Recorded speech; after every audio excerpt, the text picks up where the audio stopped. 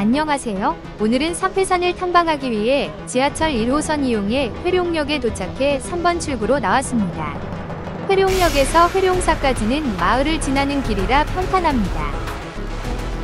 사패산은 북한산 국립공원의 북쪽 끝에 있는 산으로 동쪽으로 수락산, 서남쪽으로 도봉산에 끼고 있습니다.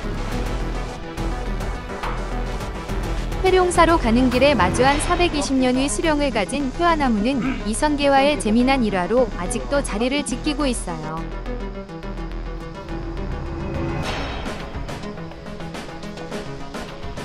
회룡역에서 회룡지원센터까지의 거리는 1.2km 정도로 약간 땀이 날 정도로 준비운동이 된 것 같네요.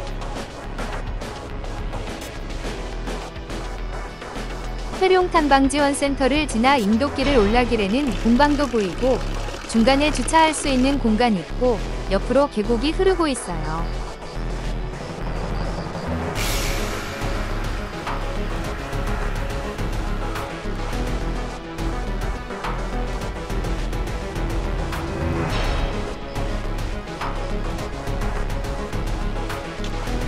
회룡사까지 가는 길은 임도길이지만 경사가 조금 있어 힘이 들고 지루하다는 느낌이 있지만 옆으로 계곡이 있어 그나마 다행이란 생각이 듭니다.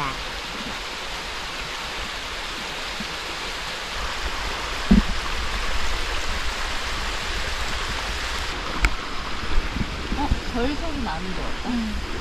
절에 들렸다 가면 되지? 어, 들렸다 가. 회룡사에 도착합니다. 회룡사는 조선을 건국한 이성계와 무학대사에 얽힌 전설이 전해지는 사찰입니다. 원래 법성사였지만 태조 이성계가 함흥에 집거하다 아들 태종의 끈질긴 청에 못 이겨 다시 돌아온 것을 회란용가라 하는 것에서 유래되어 회룡사로 불렸답니다. 회룡사에 잠깐 들러 경내를 한 바퀴 돌아본 후에 본격적으로 산행을 시작합니다. 사패산이란 이름은 조선시대 선조의 여섯째 딸인 정유용주가 유정량에게 시집갈 때 선조가 하사한 산이라고 하여 붙은 것이라고 합니다. 한동안 군사보호구역으로 묶여 있어 일반인의 출입이 자유롭지 못하고 도봉산이나 북한산의 유명세에 가린 덕분에 자연이 잘 보존되어 있네요.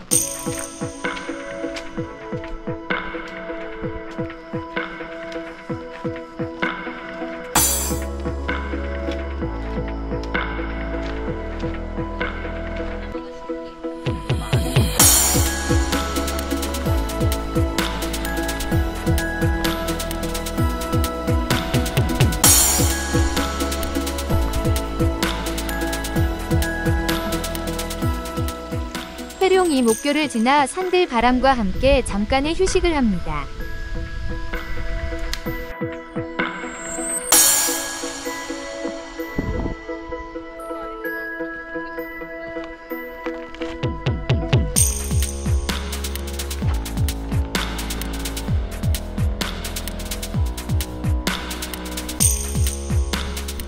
회룡 1, 2, 상목교 지나고 나오는 철제 계단입니다.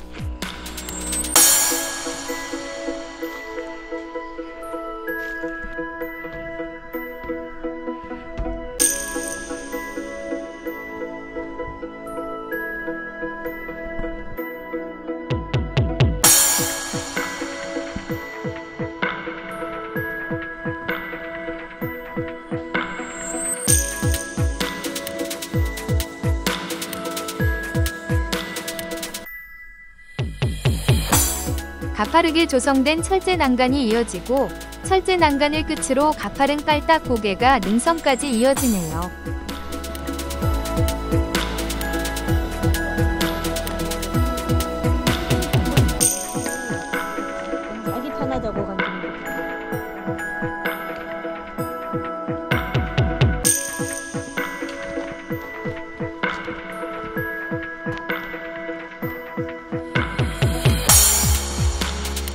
깔딱고개를 넘어 회룡사거리 쉼터에 들어섰어요.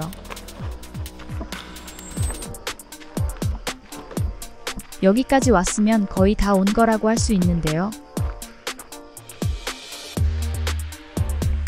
잠깐의 휴식 후 다시 사패산 정상을 향해 전진합니다.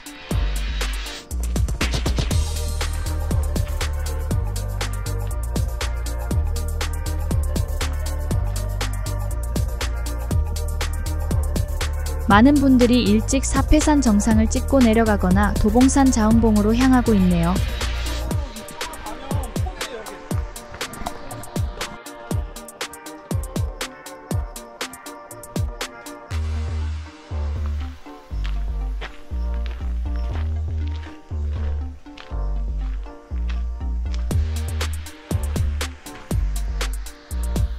예쁜 능선길을 따라가다가 보면 오른쪽에 웅장하고 예쁜 바위가 있네요.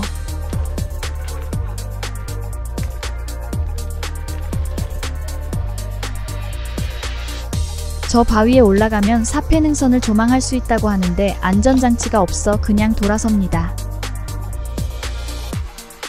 산행은 안전하게 하는 것이 최우선입니다. 다시 사패산 정상을 향해 갑니다.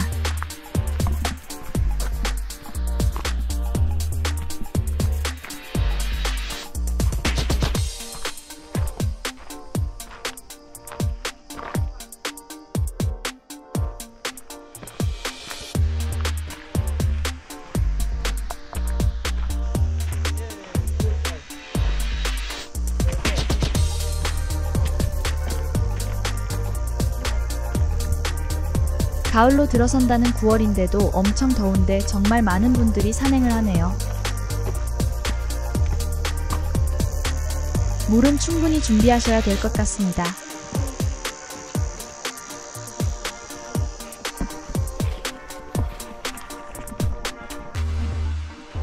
내가 얘기했어. 무조건 긴축하라고. 어? 무조건 돈. 그러니까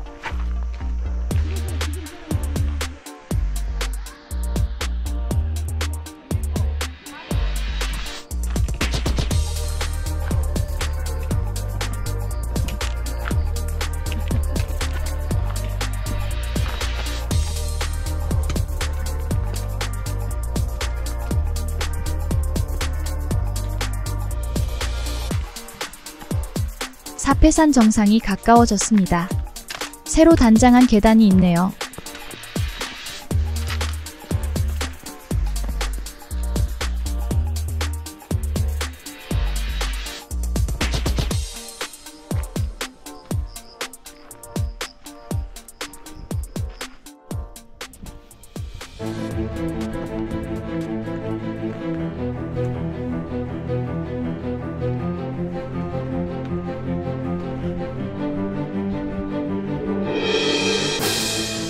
저 멀리 도봉산 자운봉이 보입니다. 이제 마지막 힘을 내어 계단을 오르면 사패산 정상입니다. 드디어 사패산 정상입니다.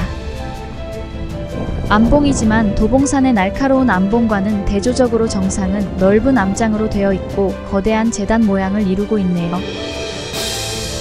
사패산은 숲이 울창하고 계곡에 물이 풍부하고 깨끗하여 주말이면 많은 등산객이 찾고 코스가 전반적으로 무난한 편이라서 초보자가 등산하기 좋은 산입니다. 오늘도 끝까지 시청해주셔서 감사드립니다.